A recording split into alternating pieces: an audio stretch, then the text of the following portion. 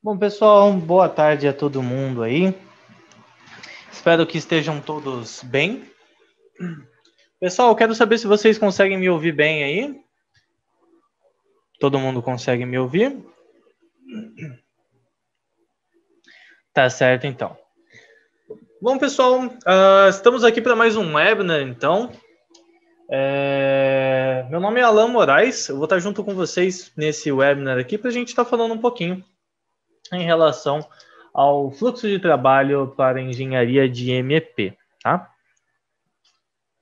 É, pessoal, só uma, alguns comentários, tá? Durante a apresentação, é, a gente vai passar por uma apresentação é, sem interrupções, tá bom? E posteriormente ao término, a gente para alguns minutinhos, tá? Vai ter um momento para que vocês tirem as suas dúvidas, tá certo? A gente vai estar tá falando um pouquinho em relação a essa nossa essa nossa, esse nosso fluxo de trabalho para engenharia de MP, dentro principalmente do Revit, tá? Mas não só abrangindo ele nesse caso aqui. É, lembrando que essa engenharia de MP, nesse caso, estamos focando mais na parte de ar-condicionado, tá certo? Bom, então um pouquinho em relação à nossa agenda, é, a gente vai estar tá falando sobre o fluxo de trabalho para engenharia de MP, então para ar-condicionado especificamente um pouco sobre o análise, a análise do, do desempenho da construção, tá? A criação dos espaços que são de suma importância para essa nossa para esse nosso tipo de projeto, né, para essa nossa área de ar condicionado e sobre as, a modelagem dos sistemas é, mecânico de dutos e os relatórios de cargas de aquecimento e resfriamento. Se vocês tiverem qualquer dúvida, eu peço que vocês, por favor, mandem no chat para gente, que a gente vai respondendo tudo ao final, tá certo? Bom, então, é, eu imagino que todo mundo que esteja aqui já tenha algum conhecimento sobre BIM, pelo menos, tá? É... Pessoal, o que é BIM? Tá? Então, eu acho que o mais importante nesse, nesse início de tudo aqui é justamente sobre o que é BIM. É, todo mundo já deve ter esse conhecimento que BIM nada mais é do que como se fosse uma construção virtual. Tá? Então, nada mais é do que um processo que ele é baseado em modelos tridimensionais e inteligentes. Tá bom? Então, para que, que todo mundo tenha esse conhecimento sobre BIM, às vezes o pessoal acaba tendo uma, uma má concepção né, do que é o BIM. Ah, BIM é fazer todas as disciplinas, BIM é, é fazer, a, fazer modelagem 3D e nada, não, não tem nada a ver com isso, tá?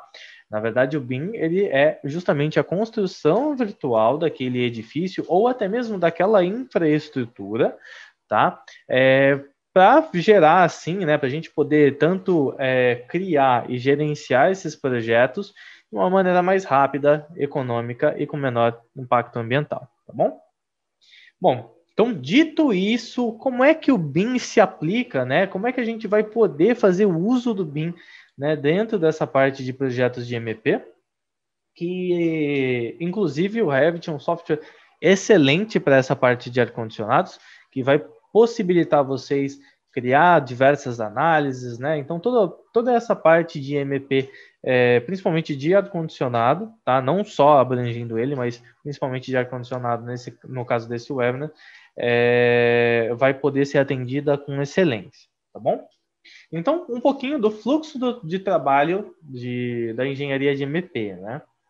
É, uma coisa que a gente precisa ter sempre em mente é que todas as informações que a gente for utilizar no nosso ciclo de vida desse projeto, elas acabam partindo da arquitetura principalmente. Então, ao invés de da gente pegar e sair riscando um duto sem saber uma série de informações, no caso a gente já parte do modelo BIM, tá? Do modelo BIM da arquitetura. Então, a arquitetura sendo pré-definida, a gente pode pegar e passar a desenvolver os complementares, seja ele hidráulica, elétrica, ar-condicionado e até mesmo a própria estrutura. Tá? É, é, interessante sim que a estrutura já esteja pronta antes de se desenvolver o projeto de ar-condicionado, para que justamente a gente possa ter a previsibilidade de problemas com a estrutura. Tá? Então é importante que vocês tenham isso em mente quando desenvolvendo os projetos de vocês de ar-condicionado em bem. Então, tendo a arquitetura e também a estrutura, se, fosse, se for o caso, a gente pode partir para a HVAC, tá? então para parte de ar-condicionado. O interessante é que essa, quando a gente está falando né, de HVAC, eu vou ter que fazer a obtenção dos dados da arquitetura, para que aí sim, né, com, essa, com esses dados da arquitetura, como níveis, como eixos, né, ou então até mesmo alguma parede, alguma, alguma informação que haja na arquitetura, tá? Eu vou fazer a obtenção desses dados, e a partir desses dados que eu vou começar, que eu vou dar início aí, em relação a esse nosso uh, projeto. Logicamente que dentro da arquitetura a gente já tem que ter algumas coisas pré-definidas, tá? Como, por exemplo, os espaços, que a gente vai passar um pouquinho já já. E, posteriormente, eu começo a fazer a determinação de pontos de ar-condicionado, a determinação de onde vai ter cada um dos equipamentos. Então, se vai ter, por exemplo, no caso de pontos de ar, vai ser um terminal de ar, vai ser um split, vou estar trabalhando com, com ar central, né, com fan coil, como que vai ser todo esse, todo esse formato de trabalho, tá bom? Após determinar tudo isso daí, que eu começo a realmente traçar meus dutos. Então, depois de saber qual, quais são os pontos, o ponto de início e o ponto de fim, né, que eu posso começar a realmente trabalhar aí com os dutos em si.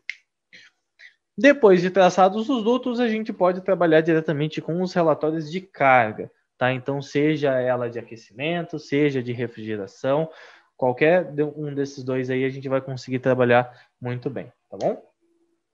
Então, sobre o fluxo de trabalho para engenharia MP. É, como eu comentei com vocês, a gente precisa partir da arquitetura. Então, visto que eu já tenho um modelo da arquitetura pronto, eu faço uso desse modelo da arquitetura, né, esse modelo BIM da arquitetura, é, eu trago ele para dentro desse meu modelo da, de MP, tá? então eu trago todo esse meu modelo de, de arquitetura aqui para dentro para poder fazer uso desse modelo. Então, uma coisa muito importante que vocês têm que ter em mente é que ar-condicionado ele não vai sair do nada. Eu preciso realmente ter essa arquitetura.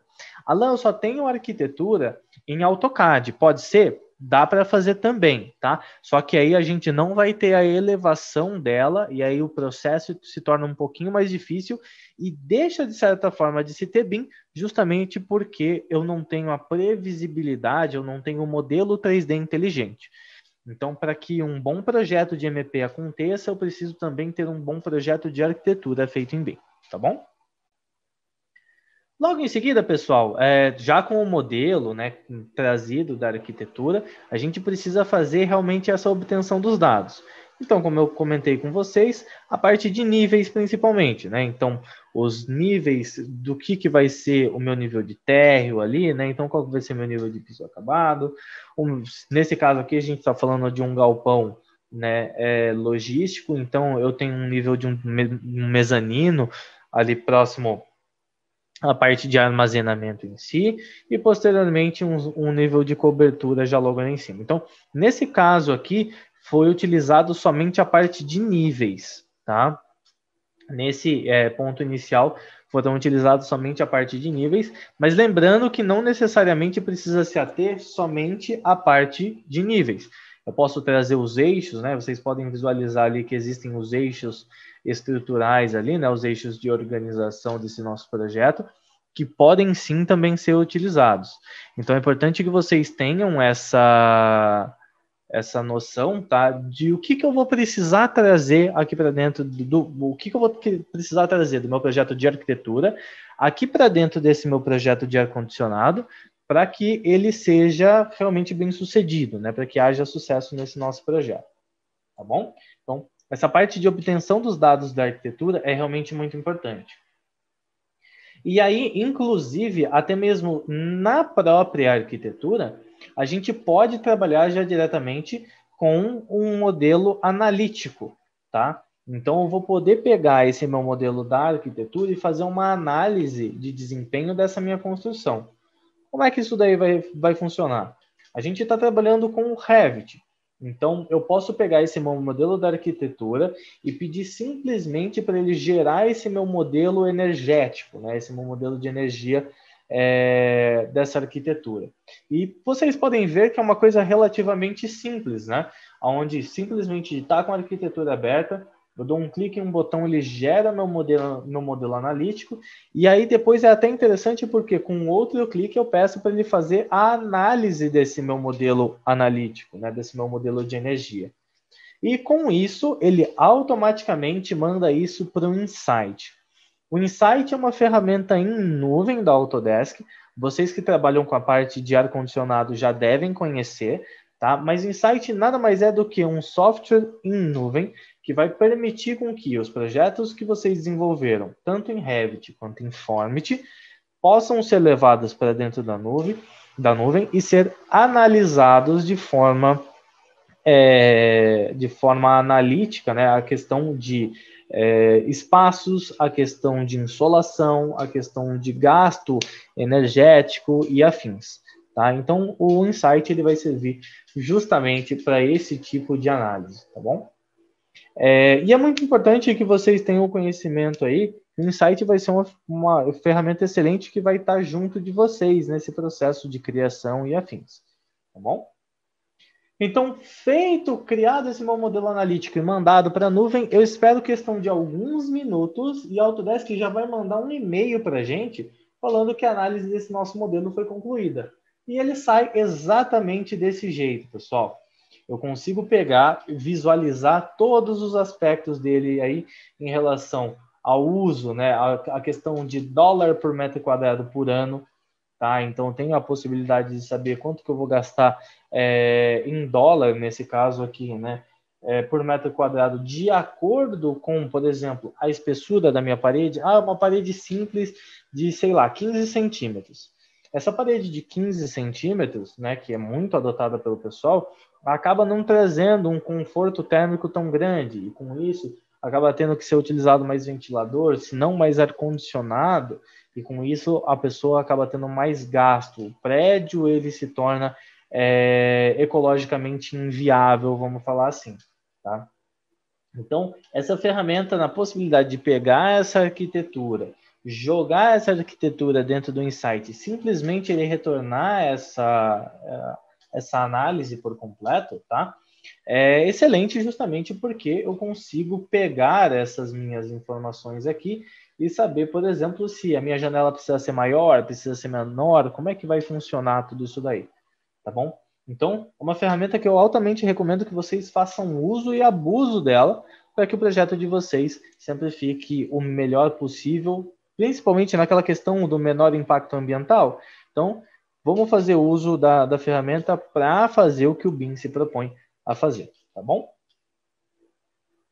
Posteriormente, a parte que ela é de longe a mais simples de ser feita, que é a criação de espaços. A parte de criação de espaços, ela é de suma importância no nosso projeto de ar-condicionado, tá bom? Não só no projeto de ar-condicionado, em outros também, mas ou, nesse caso aqui, principalmente a parte de ar-condicionado vai ser importante, é, a criação de espaços, porque a gente precisa que esses espaços estejam criados tá bom? Então, preciso que esses espaços estejam criados para que no momento que eu pedir ele gerar um modelo analítico, ele entenda que esse espaço já foi criado e é justamente o espaço que vai fazer a determinação, por exemplo, do que se trata aquele ambiente, qual que é o, o topo desse meu ambiente, então ele tem 5 metros de pé direito, tem 2, tem 2,60, 2,80, tá? Qual que é o volume dele? E melhor do que tudo isso, qual que é o tipo de edifício que a gente está falando, tá? É, para que a gente possa pegar e determinar de uma forma mais assertiva qual que é a carga de ar-condicionado que vai ser necessária, é, pela quantidade de pessoas que vão estar no local, né? Qual que vai ser, por exemplo, a carga de aquecimento gerado por essas pessoas, tá? Então são todos aspectos que a gente consegue, né, tratar justamente com essa questão da criação de espaços, tá bom? Então, façam uso e abuso também da criação de espaços. Lembrando que espaços devem ser criados no arquivo da arquitetura, tá? Então, não adianta a gente simplesmente vincular o arquivo da uh, o arquivo da arquitetura dentro do nosso modelo e tentar saindo, sair criando espaço que não vai funcionar. A gente precisa trabalhar com esses espaços já no arquivo de arquitetura, com o modelo analítico já na, no arquivo de arquitetura, para aí sim, no momento que eu levar essas informações para dentro do meu arquivo de ar-condicionado, tá tudo certo, tá tudo tranquilo, tá bom? E aí vem justamente, né, com meus espaços criados agora, chega o um momento que é um momento mais importante da criação de espaço, porque, beleza, fazer a colocação até aí tudo bem, é uma coisa realmente muito simples de ser feita. Mas é muito importante nesse processo que haja, por exemplo, a configuração de, por exemplo, fluxo de ar que a gente vai precisar. Então, nesse caso aqui, litros por segundo no fluxo de ar condicionado, tá certo? É, qual que é a ocupação, se ele vai ter ocupação ou não, qual que vai ser o tipo de espaço. Então, eu estou falando, por exemplo, ah, vai ser uma, um terminal de transportes, vai ser uma farmácia, vai ser uma, uma, um ginásio, né? uma, uma área de, de jogos de ginásio. Enfim, do que se trata aquele espaço para que a gente possa definir o tipo de espaço que a gente vai estar trabalhando, tá? E qual que é também o tipo de construção. Todas essas informações devem ser definidas já no início do projeto, tá? Então, as informações de projeto da arquitetura, a gente pode tratar todas essas informações, para que no momento que eu faça a colocação de espaços, ele já vai ter metade das informações configuradas para todo o projeto. Então, o tipo da construção, por exemplo, uma coisa que a gente tem a possibilidade de é, fazer a colocação já no início do desenvolvimento do projeto da arquitetura tá?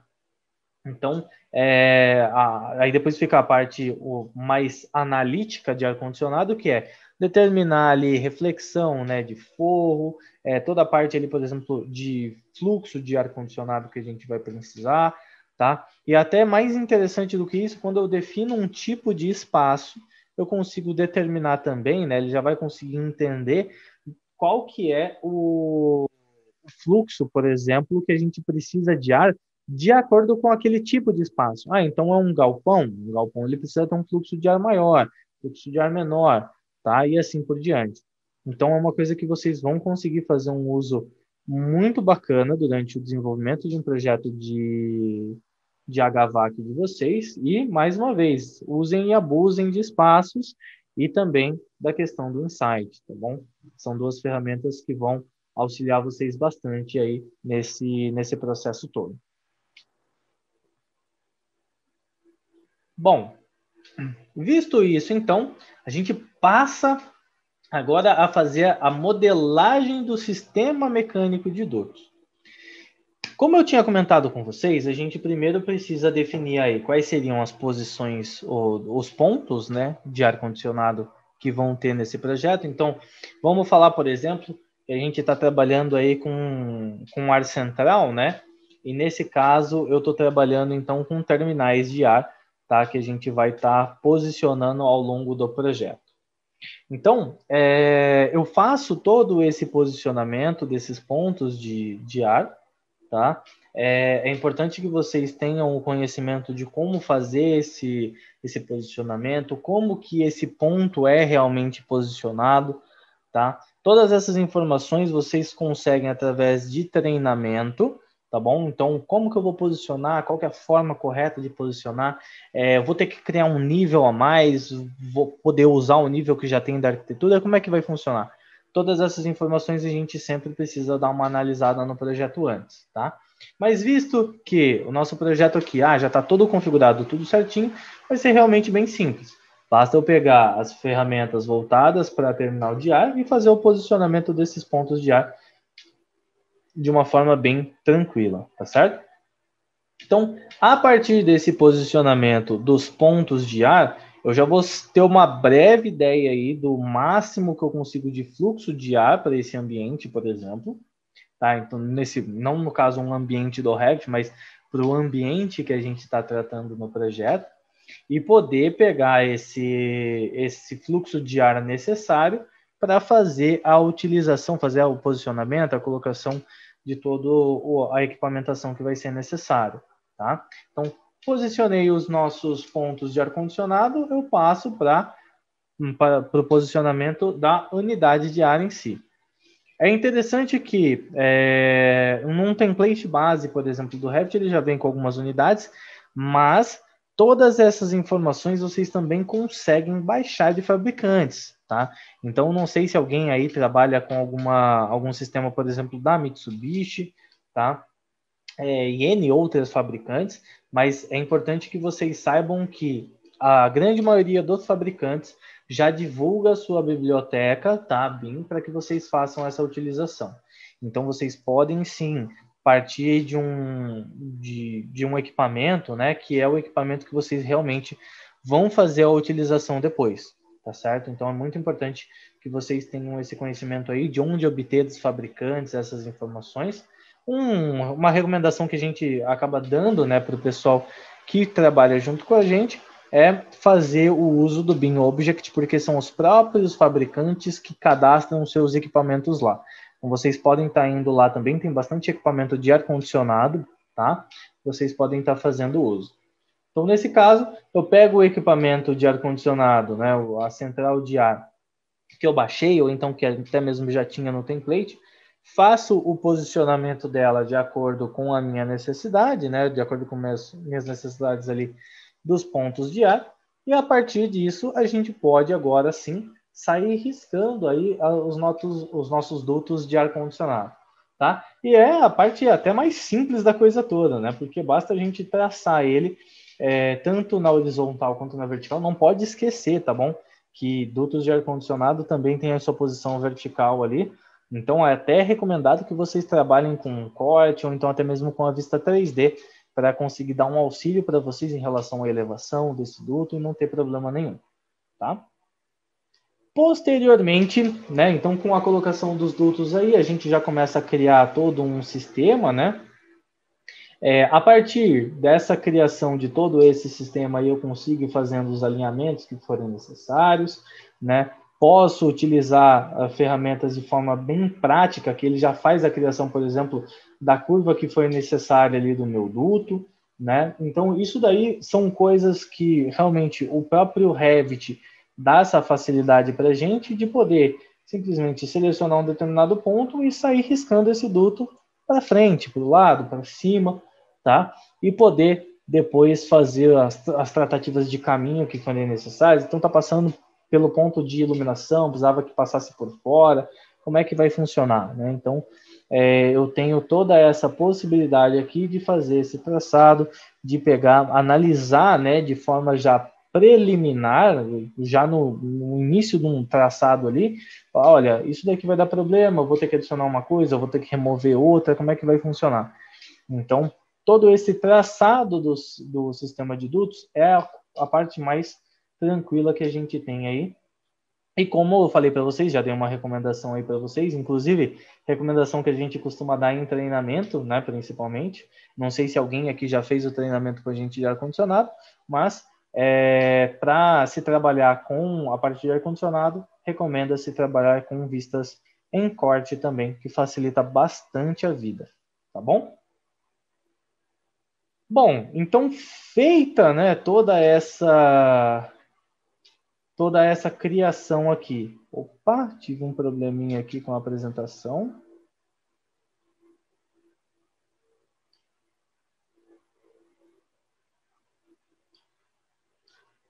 Só um minutinho aqui, pessoal.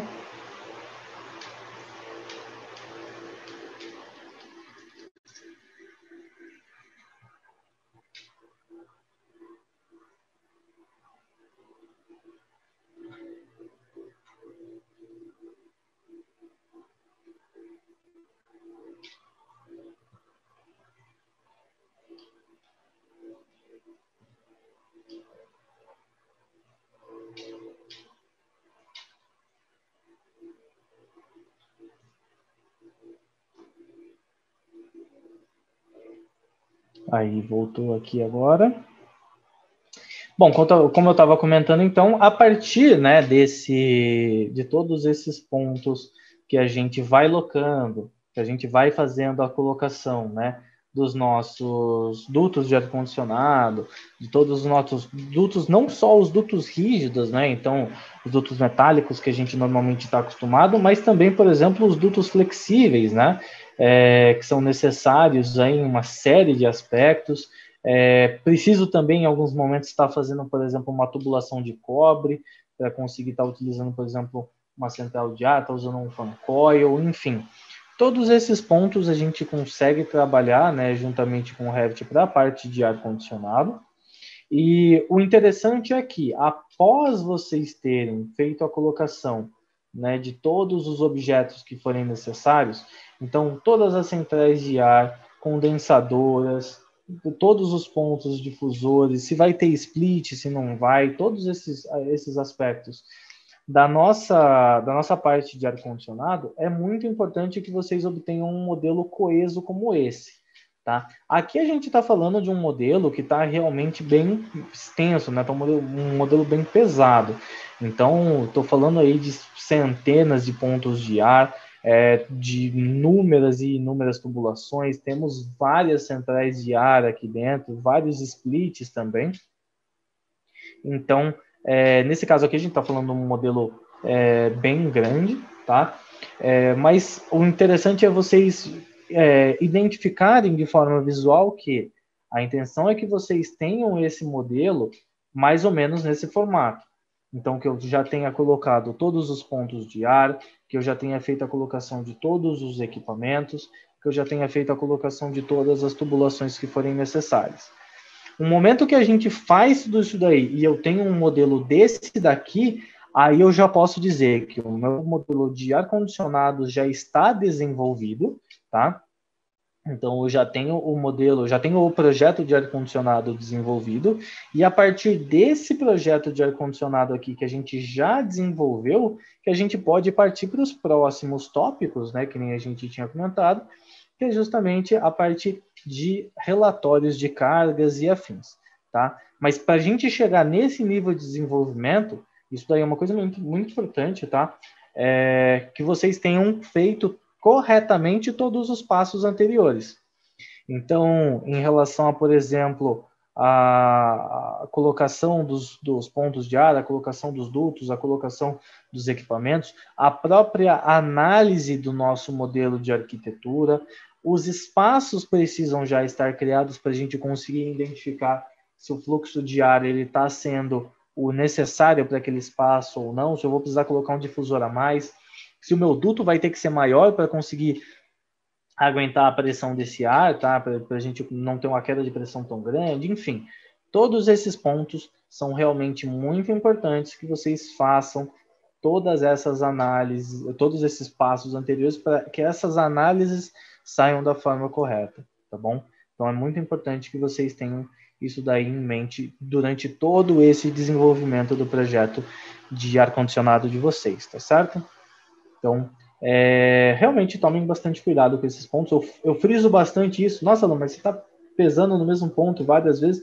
Sim, porque justamente se a gente não pesar nesses pontos, eu vou ter um modelo incoerente, eu vou ter um modelo, por exemplo, nos traçados de duto, é muito, muito comum, realmente muito comum, inclusive acontece bastante em treinamento, do pessoal em treinamento está fazendo mais ou menos ali e acaba tendo, por exemplo, um problema de um duto não estar tá bem conectado no outro, e aí a análise não entende aquela conexão, e aí você vai ver a pressão tá dando, sei lá, menos 30 mil e não se sabe por quê. Mas é justamente por conta da má conexão, por conta do, má, do mau desenvolvimento dessas tubulações. Né? Então, é realmente uma coisa que a gente precisa muito frisar é tomem cuidado com todos os passos anteriores para a gente chegar num modelinho legal como esse daqui. Tá certo? Bom, e aí um ponto, um dos últimos pontos, mas não o menos importante, que é justamente desenvolver esse relatório de cargas de aquecimento e resfriamento. Então vocês conseguem ver aqui que a gente está né, com um modelo basicamente pronto, é o modelo que eu acabei de mostrar para vocês. Eu já desenvolvi todos os passos anteriores, e aí eu posso verificar aqui, né, em relação às cargas de aquecimento e resfriamento, o que, que a gente tem? Qual que é o tipo de construção? Esse tipo de construção já está definido? Qual que é a localização dela? Então, em todo início de projeto de Revit, a gente costuma fazer, né? É, qual que é a localização desse projeto? Ah, é em Americana, São Paulo. Ah, é em Santa Bárbara, São Paulo. É em São Paulo, capital. Tá? Tudo isso daí é muito importante para que esse relatório aqui saia. Tá? Então, no início do projeto, isso daqui, inclusive, a gente está falando do projeto de arquitetura que veio para dentro do projeto de ar-condicionado e a partir da mesclagem desses dois projetos eu consigo aquele resultado. Tá? Então, mais uma vez, onde que está localizado, qual que é o nível de referência, quais são todas as informações que eu preciso aqui necessárias, né? Então, depois que tudo isso está preenchido, depois que todo esse tipo de relatório está preenchido, eu posso pedir para o Revit calcular para mim, tá?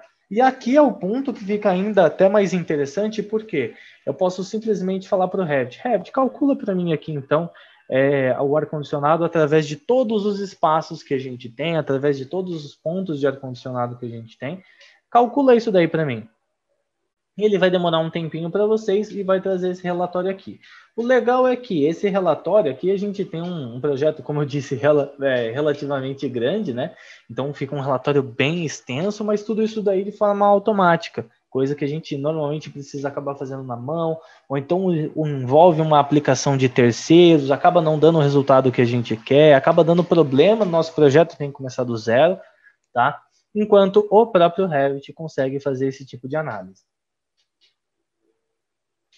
E aí, como ah, vai aparecer já logo em seguida aqui, esse nosso relatório aqui, eu tenho quais são um resumo geral, né? Então, por exemplo, em relação às áreas que a gente tem, as cargas de pico de aquecimento, de, de refrigeração, né? Quais são as cargas, por exemplo, que, pane, é, que é, parede, que janela, que todos esses ambientes, que todos esses elementos de dentro da minha construção vão trazer para esse meu projeto. Então, por exemplo, se eu mudar o tipo de parede, esse elemento aqui vai mudar bastante.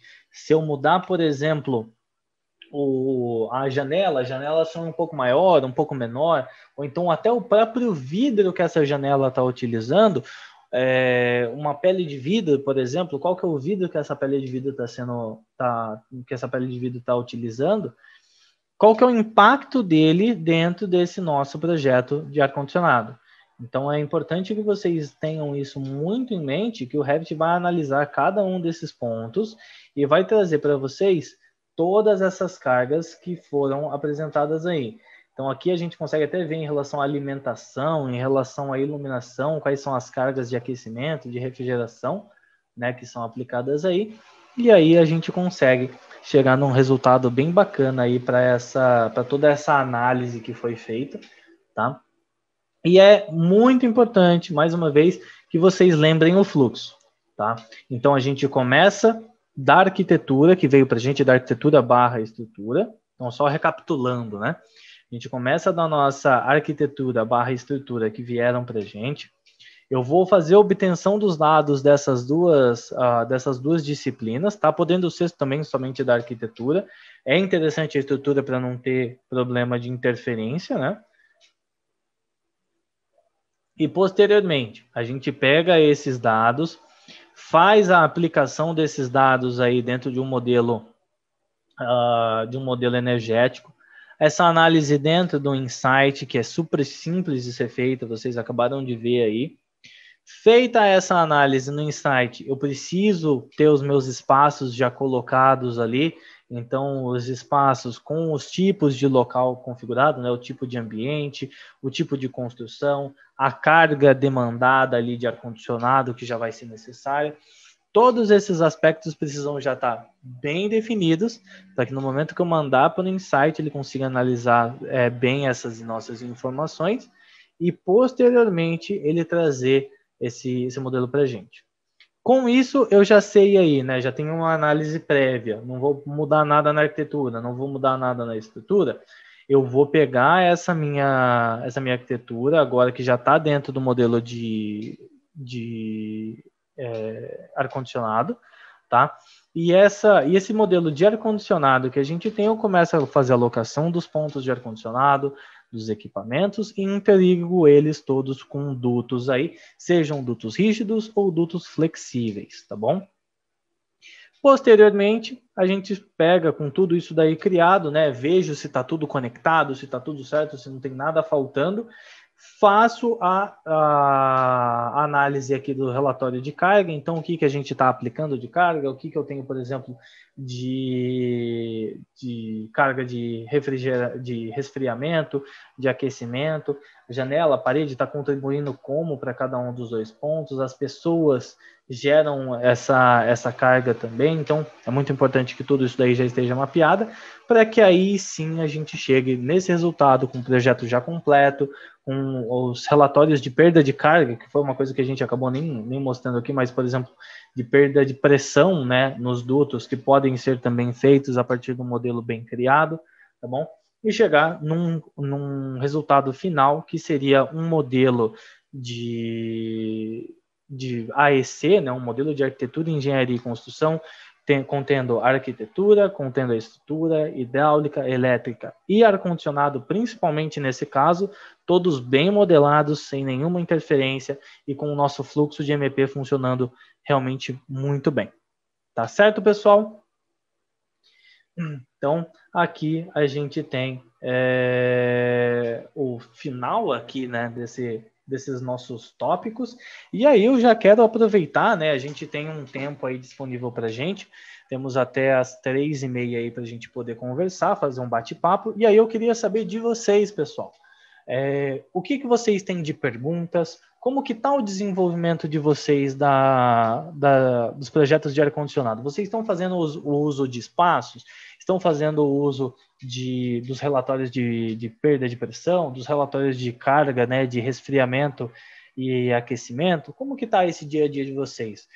Quero ter uma interação aqui legal com vocês e queria saber se vocês têm alguma dúvida também em relação a, essa, a esse nosso webinar, para a gente fechar ele aqui com essa conversa. Então, sintam-se livres aí para mandar aqui no, no chat para a gente qualquer mensagem que vocês queiram, para a gente poder ir conversando. Bom, pessoal, visto então, acredito que vocês não tenham mais nenhuma dúvida aí. Pessoal, gostaria de agradecer vocês de verdade por estar participando aqui desse nosso webinar. Tá? É, esse webinar ele vai estar disponível a gravação dele em breve. Precisa ver com a Kathleen quando que isso daí estará disponível, mas vocês receberão por e-mail né, o link que leva para a gravação desse webinar para que vocês possam assistir depois. Eu agradeço imensamente a participação de todos vocês pelas perguntas que fizeram, tá bom? É, espero que vocês continuem aí aprimorando é, todos os projetos de ar-condicionado de vocês. E lembrem-se que a MapData está aqui para auxiliar vocês em qualquer desenvolvimento que vocês precisarem em relação a projetos não só de ar-condicionado, mas de edificações no geral, de infraestrutura também. Então vocês podem contar com a MapData, tanto para treinamento quanto para um acompanhamento de vocês em um determinado projeto que vocês tenham alguma dificuldade aí para estar tá desenvolvendo. Então, contem sempre com a MapData. Muito obrigado pela participação de todo mundo.